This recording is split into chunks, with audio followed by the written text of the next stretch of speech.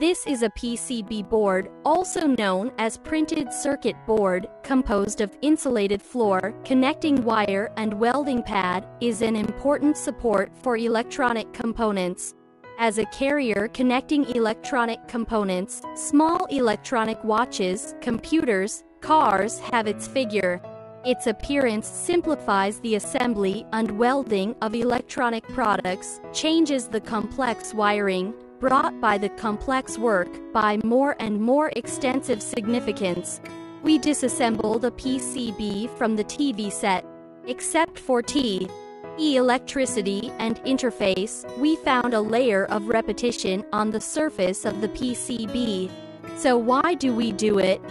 We randomly set up a closed circuit, as shown in the figure.